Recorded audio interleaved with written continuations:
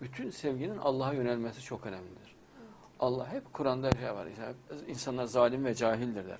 Nankördür. Hep az şükrederlerdir Allah ayette. Onun için dua ederken Ya Rabbi dikkatimin hep üzerinde olmasını nasip et diye dua etmek lazım.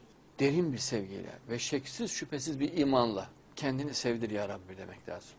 Onu elde ettin mi zaten en büyük nimet elde etmiş oluyorsun. Vücut en ziyade Allah'ı unutmaktan hırpalanır.